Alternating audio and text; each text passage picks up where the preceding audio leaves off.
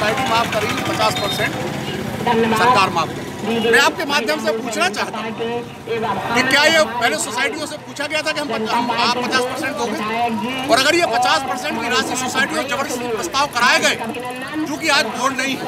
आज प्रशासक बैठा हुआ है प्रशासक सरकार का कर्मचारी है। उसको कहा गया कि ज़बरदस्ती आप प्रस्ताव पारित करो, उसने प्रस्ताव पारित कर दिया।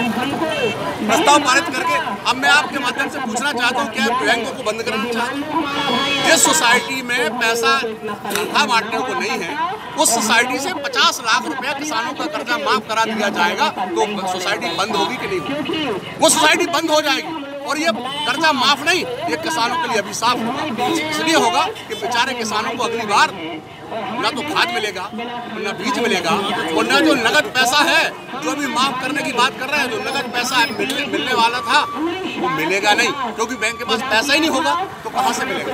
मैं आपके माध्यम से कहना चाहता हूँ, सरकार को जगाना चाहता हूँ, ये जगलरी बंद करें, ये धोखेबाजी बंद करें, और जैसा आपने वादा किया था, वो वादा पूरा करें बेरोजगारों का जहाँ तक सवाल है, आज तक एक रुपया नहीं मिला। जहाँ तक उन गरीब मजदूरों, जो गरीब लोग जिनको पेंशन मिलती थी तीन सौ रुपये और पाँच सौ रुपये, उनको आदेश कर दिया छह सौ रुपये। आपने झूठा वादा किया कि सही वादा किया? आपने वादा किया था, आपने वचन पत्र में कहा था। कमलनाथ जी बड़े ज़ोर ज़ोर से बोलते हैं, ये मेरा वचन पत्र है, और मैं इसको एक एक बिंदु से पूरा करूँगा। एक हज़ार रुपये की घोषणा की थी। आज छह सौ रुपये का आदेश निकाला। एक ये धोखेबाजी है दो लोगों के साथ की नहीं है? अभी वोट वोट आपने ले ली सरकार बना ली अब आपने छह सौ रुपये का आदेश कर दिया। ये धोखा है किसानों के साथ उन गरीब लोगों के साथ कि नहीं? ये सरकार सिर्फ़ धोखा दे रही है लोगों को बरगलाने का काम कर रही है। आप देख रहे हैं सामने आंगनबाड़ी वाली महिलाएँ कार्यकर्ताएँ बैठी बहनें बैठी। इस सर, इन लोगों को जो जो स्वराज सरकार ने वादा किया था वो पूरा कर दिया। लेकिन आज की तारीख तक कमलनाथ सरकार ने एक भी वादा मैं एक, आपके माध्यम से एक हिंदू और आपके ध्यान में लाना चाहता हूँ, जो स्कूल के कॉलेज के बच्चों से जुड़ा हुआ है।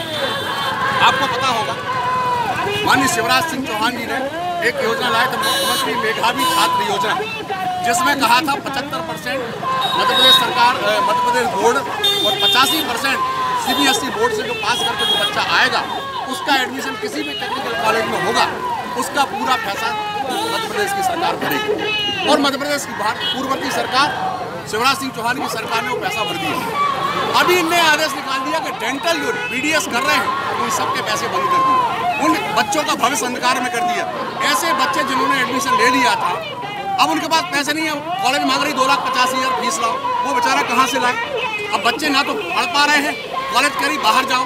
सरकार पैसे नहीं दे रही, उसके पास पैसे हैं नहीं। मैं आपके माध्यम से इस बात को उठाना चाहता हूँ कि सरकार जागे और उन मेघावी बच्चों की फ़ीस भरने का काम करें, क्योंकि बच्चों के भविष्य का सवाल है। ऐसे लगभग 200 से 250 बच्चे बीडीएस कर रहे हैं, उनके साथ अन्याय होने हो रहा है मित्रों, आपके माध्यम से मैं कहना चाहता हूँ सरकार जागे, नहीं तो ये भारतीय जनता पार्टी के लोग ईट से ईट बजा करके रख देंगे और उनको चैन से सरकार नहीं चलाने देंगे।